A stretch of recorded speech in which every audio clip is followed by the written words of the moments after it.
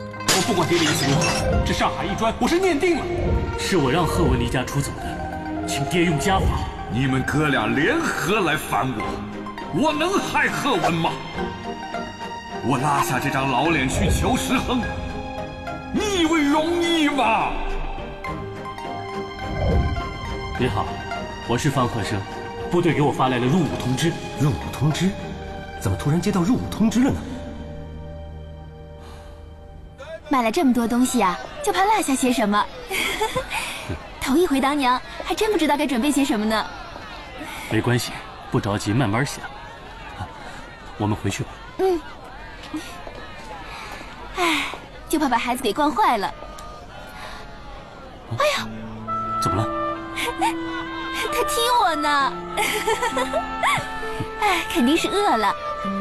最近啊，他特别皮。以后啊，你好好调教调教他。文凤，哎，贺生啊，你要答应我，要在我们家的花园里面啊，做一个秋千，旁边放一张石凳，这样啊，我们就可以坐在石凳上啊，等孩子出生以后荡秋千，看他荡累了呢，你要吹口琴给他听，好吗？好。哎，贺生，我们再去那边看看吧。啊。老爷，舒服点了吗？唉，最近老是头疼。唉，何文离家好多天了吧？有信写回来吗？还没呢。都怪你平时太宠何文，他才敢这么肆意妄为。贺文这一走也不知道什么时候回来。他从小没吃过什么苦，一个人就往上海去闯，我真怕会闹出什么事来。要不我们找个人打听一下住哪儿，给他寄点钱去吧。我把话已经说得很清楚了，我就当没这个儿子，你也不许惯他。他离家之后有把你放在心上吗？慈母多败儿，到时候你难辞其咎。哎呀，老爷。我不再提这件事了啊！先坐下，先坐下，不提了啊。这一阵子经贺文的事一折腾，我的血压总是居高不下，头总是昏沉沉的。过几天就是杏花酒的新酿出窖祭天仪式，这是一年一度的大事，就就交给贺生处理吧。是啊是啊，老爷，让世宗帮着贺生，你就别操心了嘛？啊！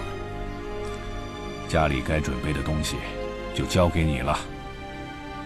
最近方家没有一件顺心的事情，这祭天仪式，你得多花点心思，别再丢了面子。行，你放心吧。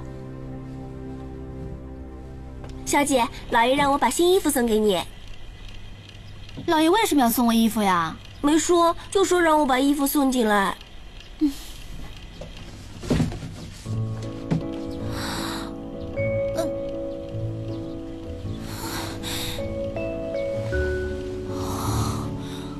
这这衣服也太不登大雅之堂了吧！我爹难道要我穿这种衣服陪他应酬？他把我当成什么了呀？会真像方鹤文说的，我爹要把我培养成一交际花儿？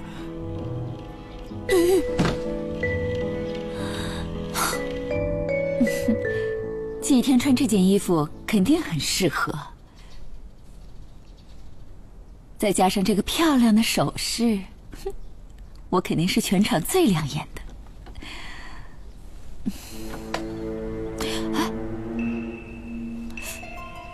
哪儿去了呢？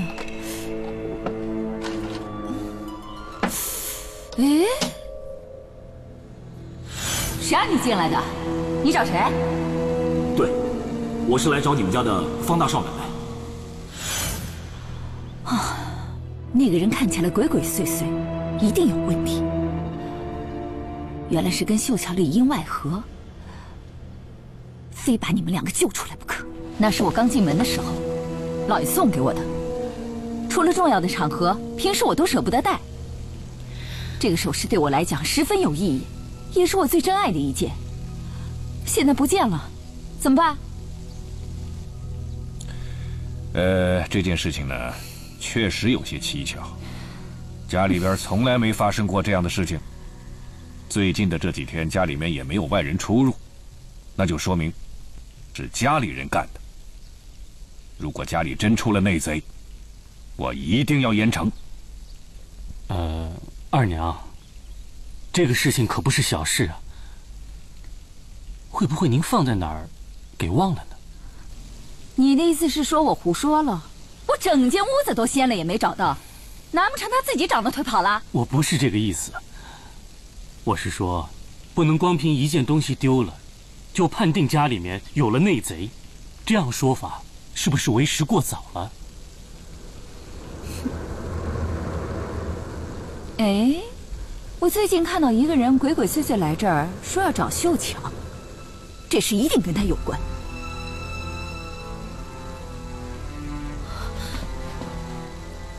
那是我的同乡好友，我们从小一起长大的。那天。他来找我叙叙旧，绝对不会是他偷的。二娘，你没有证据就指名道姓的话，那可是诬陷哦。再说了，您只是看了那个人鬼鬼祟祟，就怀疑他跟丢首饰有关的话，未免对秀巧太不公平了。你，二娘，我相信秀巧的人格，所以也请你相信秀巧。怎么，你们全都针对我是不是？我在你们眼里是什么样的人？我不管，今天你们一定要给我交代。哼！从小到大，不该是我的，我从来不贪不要。我娘家虽穷，可从来没有让人瞧不起。如果二娘还有什么疑虑，就请到我的房内去搜，我没有什么见不得人。哼哼。把赃物藏在自己的房间里，有这么傻的人吗？哎呀，事情还没弄清楚，就在这儿大吵大闹，像什么样子？家里要是真的出了内贼，我一定严办。但是也不能没有证据就随便指认的。今天就到这儿吧，等明天祭天大典结束之后，我再想办法解决。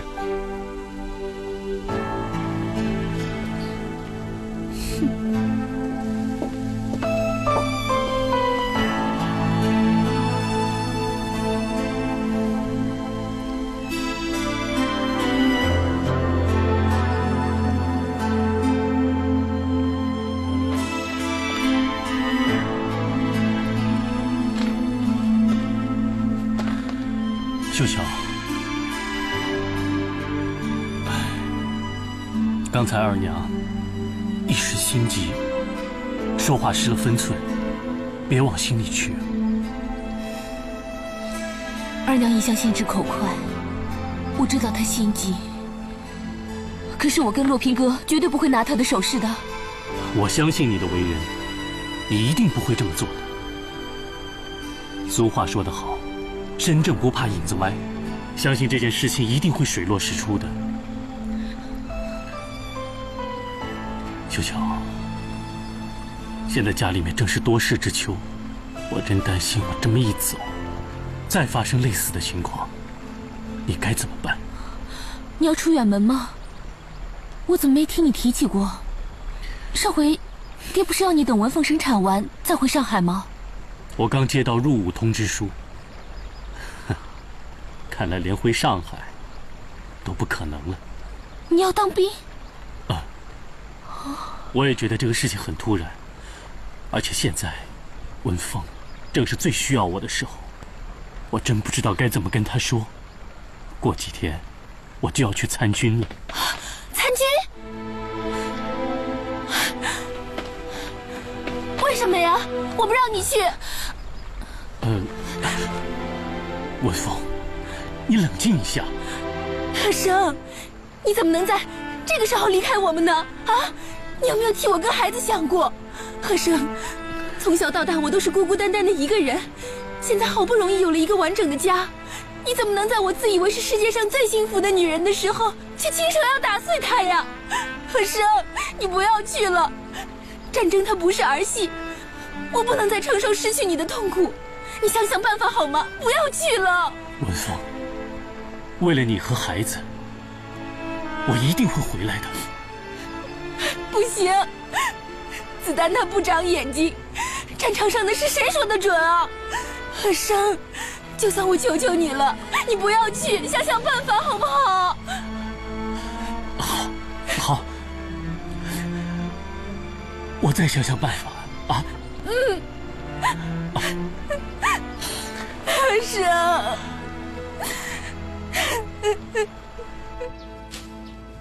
阿晓啊，你知道二太太的首饰掉了的事情吗？知道。听说她一口咬定就是秀巧和她的同乡干的。啊，这太离谱了！大少奶奶连一毛钱都不会贪的，怎么可能拿她的首饰呢？再说了，上回大少奶奶那个朋友我也见过，她这人看上去挺正直的。二太太一定搞错了。哼，我也这么认为。大少奶奶的为人呐，我们都很清楚。嗯，要是大太太在的话，绝对不会发生这种事情。就是啊，因为大太太呀，总是为人家着想的。嗯，哎，这二太太一当家啊，常把家里弄得鸡飞狗跳的。哎，大少奶奶这回一定挺伤心的。就是，这大太太一走啊，什么都变了。这回啊，我们家蔡照受伤，也没见过二太太去探望过他。倒是大少奶奶啊，还特地熬汤给我们家蔡照补身体呢。大少奶奶为人真的很好哦。就是，照我看啊，这二太太一点都不如大少奶奶仔细周全，是吧？就是。老爷，老爷，都给我听着。你们把府里上上下下、左左右右、里里外外都给我打扫干净了，不干净我拿你试问。是。去吧。哎。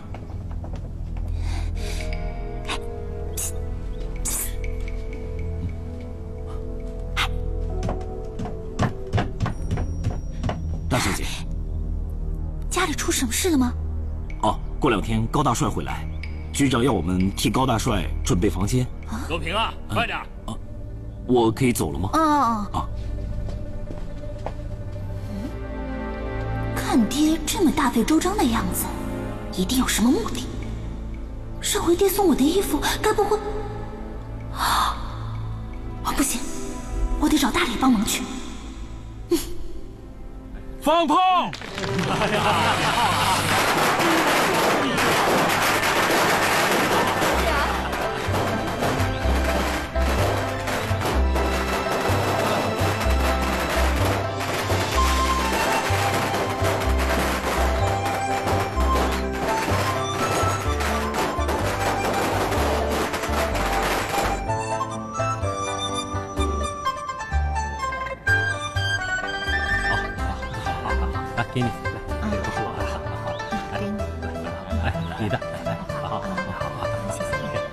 来，请，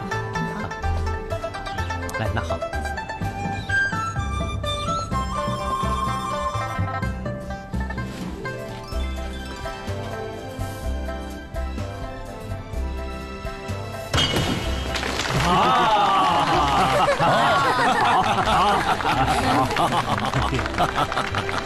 各位。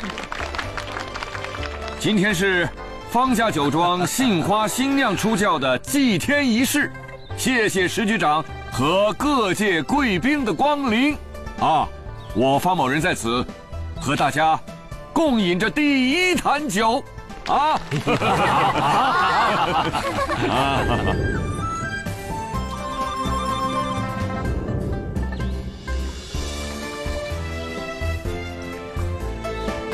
哈哈哈！哎，杏花时节，酒香满天下啊！来来来，让我们和方老爷一起喝下这一杯天下第一的杏花酒。来来，干杯！干干干！干杯！干杯！干！好！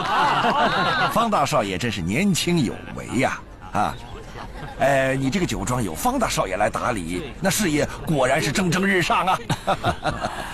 哎呀，不过遗憾的很呐。如果哪一天方大少爷果真离开了方家，没有大少爷的帮忙，你肯定很头疼的。那也不会，咱们酒庄还有二叔在。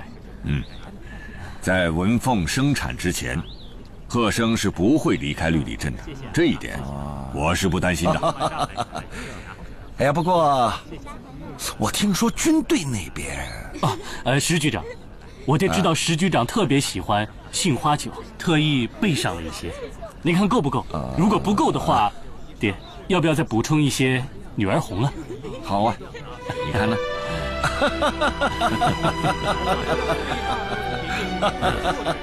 请石局长不要嫌弃啊！啊，客气了，太客气了。哪里哪里？哎，你们俩喝杯酒吧，哎，喝杯酒吧，很好喝的。我不喝酒的。啊，不喝酒啊？啊，没关系，我给你沏壶茶去。啊，你等着啊，等着啊。二太太。怎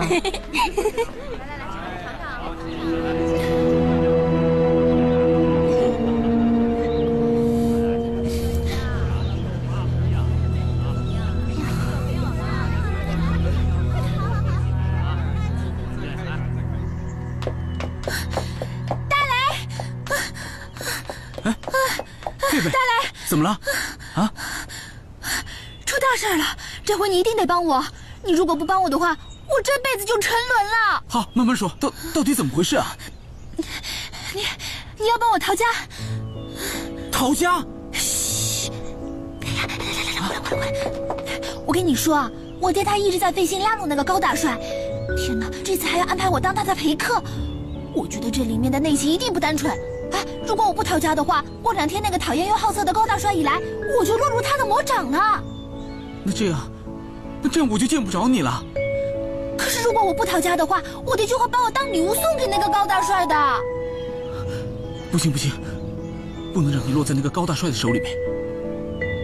行，我帮你逃家。嗯。哎呦，慢点，老爷。哎，当心啊。这酒喝的真舒服，来，小心。好酒啊，好酒啊，坐稳了。哎呀，老爷，我掉首饰这件事，你什么时候才处理呀？嗨，没凭没据的，你会不会是放哪儿想不起来了？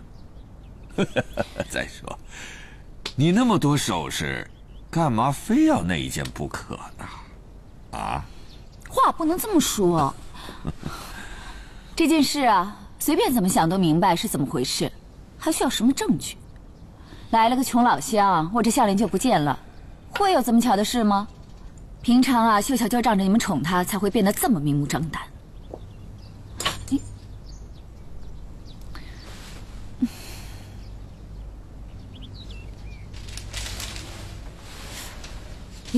有张纸条，给我看看。哦，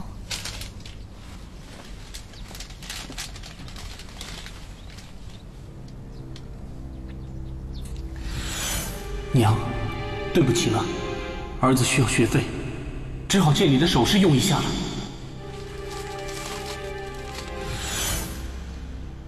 你的项链是让你儿子借去了，这是他给你留的借据。啊？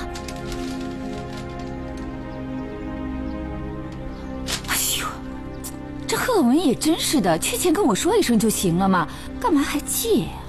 害我误会了秀乔和他乡下的朋友。你呀，事情没弄清楚就乱发脾气，还对着晚辈下人胡说八道，你这样子能成家吗？老爷，我只是一时的心急。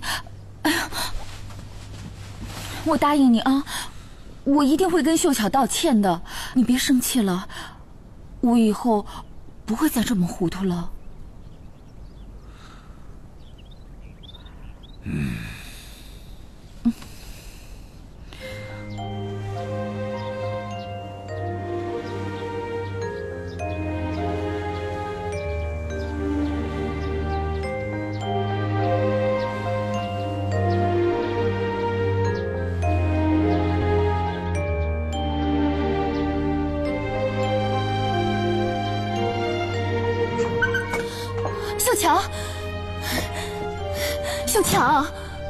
文凤，你应该在房间里休息啊！哎呀，贺生就要去参军了，我哪里还躺得住啊？秀强，你帮我一起劝劝他，不要让他去参什么军了啊！文凤，你别这样，贺生他现在心里够乱的了，而且这事也不是他一个人说了算的，你应该站在他的立场为他想想。怎么贺生去哪里，你都一副满不在乎的样子呢？也对啊，他的心根本不在你身上，所以你根本就不担心他。贺生他也是我丈夫，我怎么可能不担心他？可是看你的样子，我根本就不觉得你在担心他。你知不知道，只要贺生上了战场，他的命就不是他的了。一旦从这个家门走出去，他什么时候还能不能回来，这是谁都不知道的事情了。你误会我了，文峰，我没有误会，你根本就不想阻止贺生去当兵。反正不管怎么样，你都是方家的好媳妇。我，我，你们俩在说什么？啊，可是要去打仗，这什么时候的事？怎么没人告诉老爷呢？二娘，您听我说，我我们正要阻止他的。哼，这么大的事情，你们都敢欺瞒老爷，实在太不像话了。我跟老爷说去。啊，二娘，二娘，你先别跟爹说呀。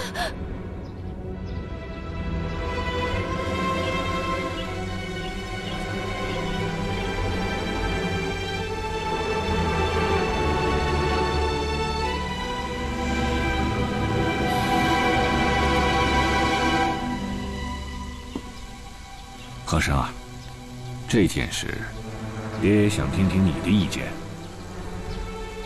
这个时候，如果我去参军，就是抛妻弃子，不顾方家的重任。爹，这里面的轻重，我明白。但是我去过征兵办事处，问过他们情况，他们说如果我不去，那就是违抗军令，要按军法处置。我是担心，会连累到我们方家。没想到这个石亨心胸这么狭小。那天他想加入咱们酒庄，被你挡了回去。他这是恶意报复。大哥，石亨的如意算盘就是掐住了贺生，他就等于掐住了咱们方家呀。这事也不难。俗话说，解铃还须系铃人。咱们给石亨做个厚礼，再带着贺生给他摆宴请罪，不就完了吗？爹，他明摆着就是敲诈。如果这次从了他，从今往后他对方家更是虚所无度。事到如今，不这么做还能怎么做啊？贺生，这件事，爹不管你愿意不愿意，就是绑，我也得把你绑去。啊，大哥，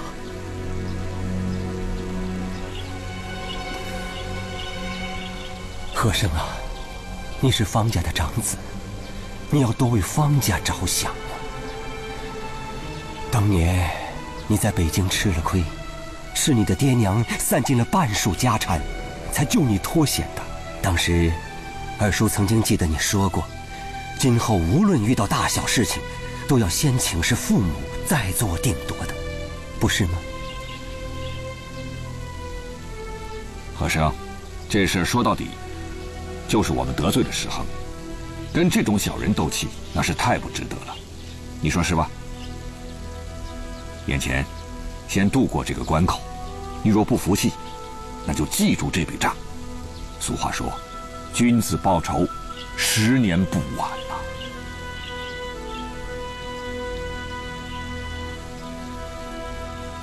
行，我听爹的。嗯。哈哈哈哈贤侄啊，我还真以为你是个爱国青年呢。啊！为国家民族，可以抛头颅洒热血的，哈 哈看来我是高估了你呀！啊啊，是我不准。你说，依咱们和高大帅的关系，他一个小孩子跟着掺和什么，也太不懂事了。哎呀，方老爷子可是天下父母心呐，我理解。你说，谁愿意把自己的孩子送到战场上去呢？那子弹是不长眼睛的，他万一有个闪失……哎，就是就是，所以我今天带贺生来了，请石局长帮帮忙，替贺生把参军的事化解化解，化解啊！方大少爷，你看这事我能帮上忙吗？帮得上帮不上，就凭石局长您一句话，这件事情费心了。放在以前呢，我包准是一口答应，包准是痛痛快快的，是毫不犹豫的。可是，自从方大少爷您教训了我以后，我学会了这深思熟虑呀。就像你说的，这事我一插手，那肯定是官商勾结呀。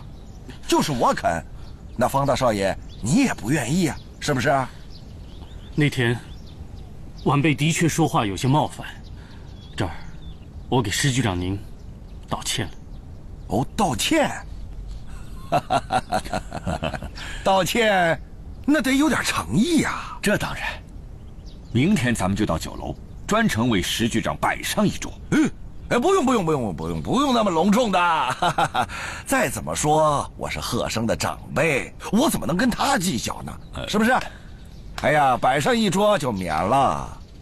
哎，贺生啊。哎，我这鞋上有点灰，你帮我擦一下吧。啊，很为难吗？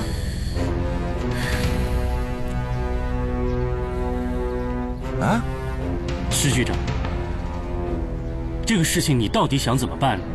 给句痛快话，你有什么条件，尽管说出来。和尚，不得无礼。石局长要看的是你的诚意。诚意我当然有。石局长，您不帮忙没关系，可是您这样的条件，不觉得太过分了吗？哼，方老爷，你这儿子也太倔了吧！你说我不让你们设宴，就是怕落人口实，说我们官商勾结呀！啊，屈个膝为长辈擦个鞋又怎么了？今天可是你来求我，你腰不能弯，头不能低的，你让我怎么接受啊？和生，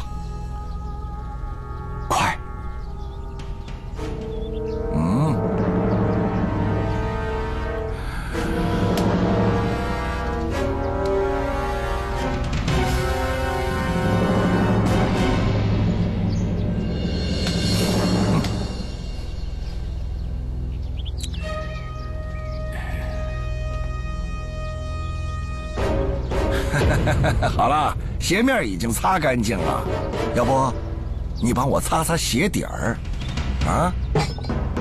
嗯？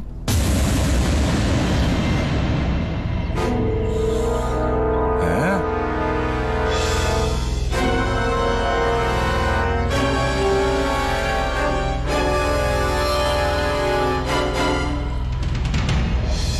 哼！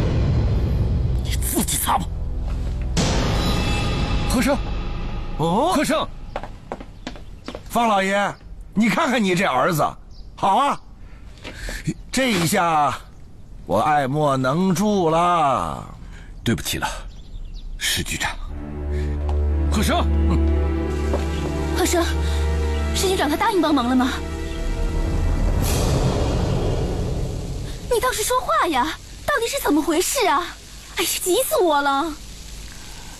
文峰。石恒没打算帮我，他是存心羞辱我。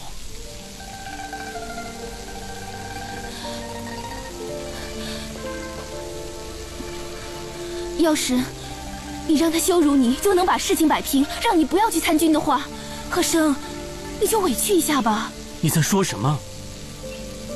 我可以受委屈，但我是方家的长子，我不能让方家受到一丝一毫的委屈。难道你愿意丢下我和孩子去参军吗？我就不明白了，给石恒道个歉有这么难吗？文峰，你到底是怎么了？以前你不是说过，一个人的自尊比什么都重要？是，自尊是重要，那是在你一个人的时候。现在有比你的自尊更重要的，那就是我们这个家，我们的孩子啊！不，这一次如果我低头了，我们方家以后都得向石亨低头。方和生，你们觉得你太自私了吗？现在就算你有天大的理由，你都不能不顾我和孩子。我问你，难道你想让孩子一出生就没有父亲吗？文凤，你别急。和珅这么做一定有他的原因的，你应该先听听他怎么说的。早在多年以前，我就已经不属于我自己了。当年因为我的年少轻狂，以这样家里的人为我担惊受怕，蒙受羞辱。那个时候，我就已经开始发誓，从今往后我会为这个家里面，为这家里的一切，尽我的全力。为父母尽孝，为妻儿尽责。不过今天当着石亨的面我低下了头，今后我们的孩子就会在屈辱的环境里面长大。你有没有想过，若干年以后他们会怨恨我们？你明白吗？我不管将来怎么样，现在我再问你一次，是不是为了我和孩子？你都不愿意去向石亨低头，就是因为你和孩子，我才这么做的。没有尊严，远比没有父亲更可悲。好，那我也告诉你，无论如何，我都不会让我的孩子像我一样，是一个孤儿。如果你再这样一意孤行下去的话，我宁可现在就不要这个孩子。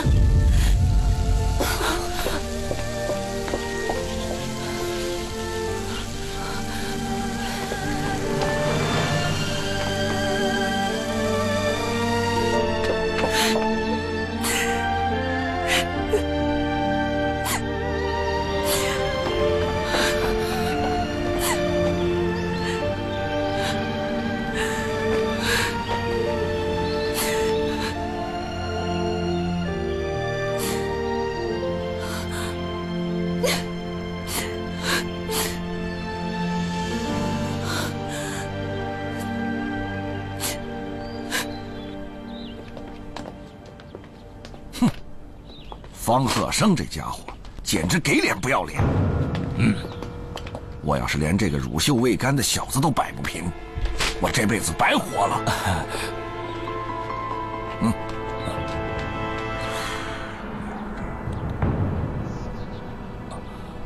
听清了，免得夜长梦多，懂吗？好。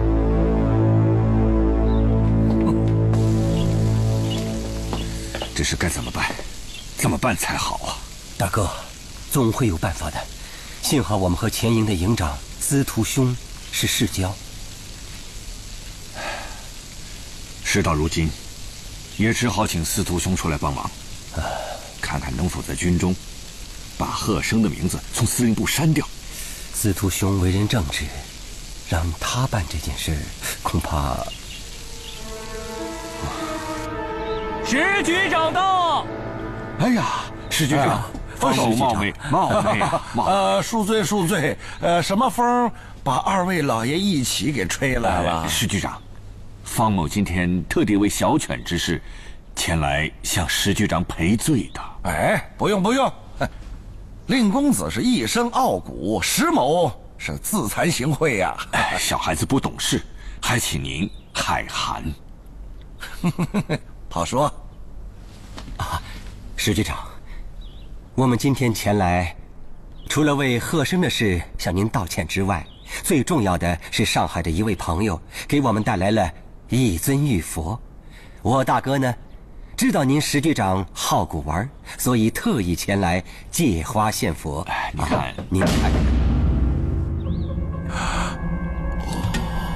石局长，你看这成色。听说这尊佛像是前朝达官之物，真的？这这价格不菲吧？啊，我给您端出来看看。哎哎哎，别动别动，这个很贵的。呃，既然这么好的古玩，方老爷何不自己留着把玩呢？石局长，事已至此，方某也只有拉下这张老脸，再次请石局长为小犬的事帮忙啊。哦，呃，方少爷既然被军队录取了，那他必须要按时报到的，否则会军法从事的，要杀头的。啊，石局长，正因为此事生死攸关，所以我大哥赶紧把这尊玉佛给您送来了，希望石局长您帮帮忙，你我大家朋友一场，请石局长。一同向这尊玉佛祈求保佑，恳请贺生的名字立马能从登录名册中删除，立马删除，啊，立马删除，这有困难呐，石局长，您有什么困难，不妨直说。哼，你看我这寒舍，连座佛堂都没有啊，哎。我怎么向佛祖祈求呢？哎呀，石局长，没有佛堂，那就建一座吧。啊，我家那个佛堂你是看到的。嗯，如果您看得上眼，那我就马上替您建上一座。哦，我看得上，我怎么会看不上呢？哎呀，方老爷，建好佛堂之后，是不是要加点香油啊？那当然，哎，啊，方老爷，这加了香油之后呢？你看，哦，石局长，如果上天帮忙，我们方家一定会再次谢谢您的厚恩。那是一定的，啊，一定的。好。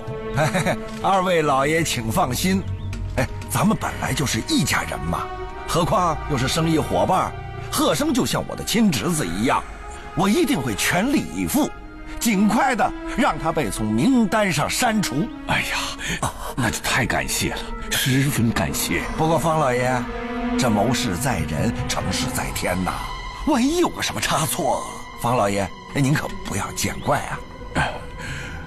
好的，好的，石局长费心了。好说，好说，好说。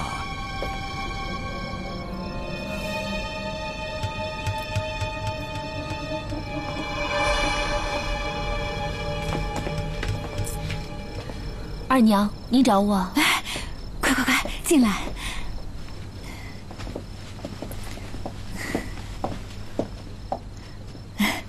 坐吧，二娘，你找我有什么事吗？我找你是为了，是为了上回我误会你偷走我项链的事。秀乔，是我误会了你，真的对不起。原来是这事啊，没事的，二娘，咱们都是一家人，没必要把这种小事放在心上。小乔，你看我这长辈是怎么当的？不分青红皂白就诬赖你，我是应该跟你道歉。要不你挑件首饰，让我作为补偿，好吧？没事的，二娘，您不需要补偿我。咱们一家人相处，贵在互相信任。这一次的误会解开了，我们以后相处的会更加融洽，这不是很好吗？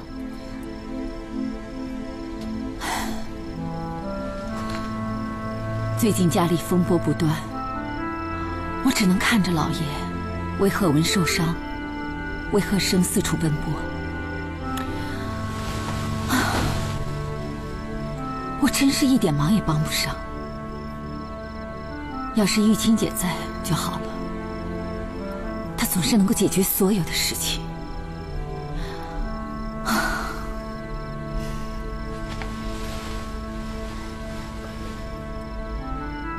二娘，人生没有过不去的关卡，相信咱们方家这一次一定可以度过眼前的难关。你要往好处多想。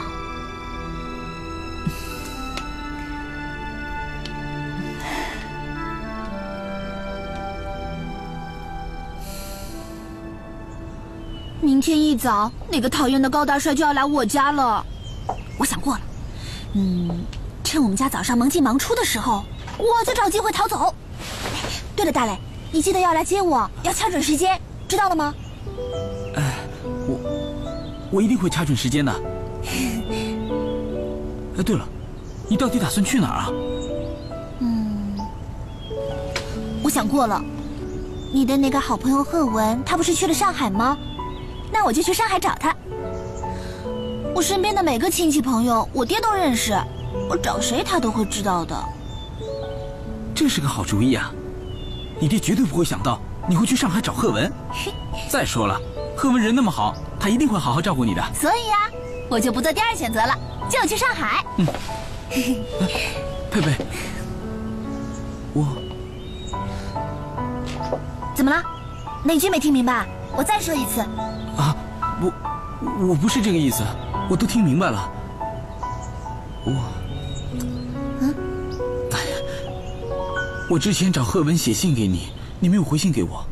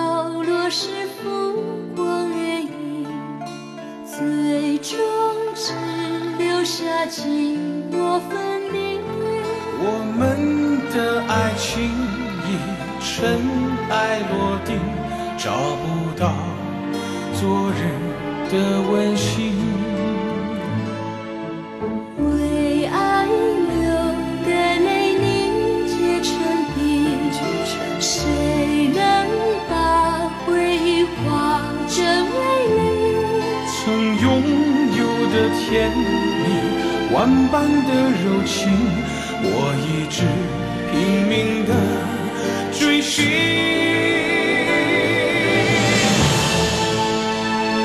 当爱。